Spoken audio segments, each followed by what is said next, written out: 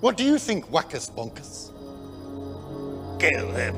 Ooh, you naughty Wackus Bonkus.